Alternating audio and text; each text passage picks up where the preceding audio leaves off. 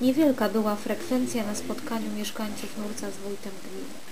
W niedzielne popołudnie 27 stycznia do sali Ośrodka Kultury pofatygowało się dwadzieścia kilka osób, a na spotkaniu mówiło się o wielu różnych sprawach. Wójt gminy Piotr Jaszczuk poinformował o zadaniach wykonanych w roku ubiegłym, przedstawił także plany inwestycyjne na rok bieżący. Oczywiście nie obyło się bez pretensji i zastrzeżeń mieszkańców. Dyskutowano m.in. o kolejności asfaltowania ulic, o tym, gdzie znajduje się centrum ulica, a także o dalszych losach byłego bloku Drodzy. Państwo, kiedyś nam mawiano, że palenie nie szkodzi. Ja nie wiem, czy pamiętacie te czasy, jak konwój amerykański lansował, że palenie nie szkodzi. To samo się dzieje teraz z telekomunikacją. Ta wieża, w porównaniu z komórką, Panie Wójcie, to jest rzecz nie do porównania. Ja komórkę mam, się nie boję tego. Chciałbym postawić taki wniosek, ażeby podjąć odpowiednie kroki zmierzające do uporządkowania ulicy Miejskiej. Żeby nie figurowała na tablicy tych ogłoszeń tutaj na rogu ulica Młyńska,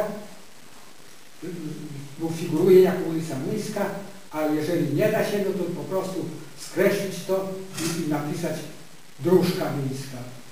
Ten człowiek ma rację i on się dobrze dopomina, że, że ta ulica powinna być zrobiona w pierwszej Ale pan Zbyszku, ja nie wiem, czy pan przeczytał ten plan. W tym planie były wszystkie ulice. Ale on, a ten mój jak w 2010 Ale nie wiem.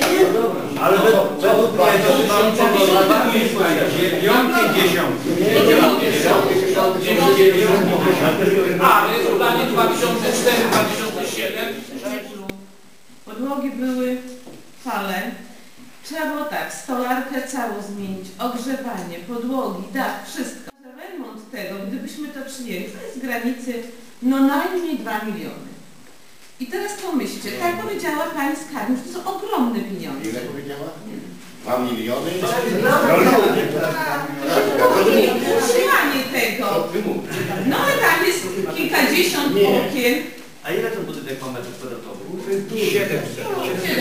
to kto budował dom, to wie co to znaczy. Słuchajcie, proszę Państwa, nas było z Nurca, nas jest radnych pięć osób. Pozostali są z okolicznych wsi.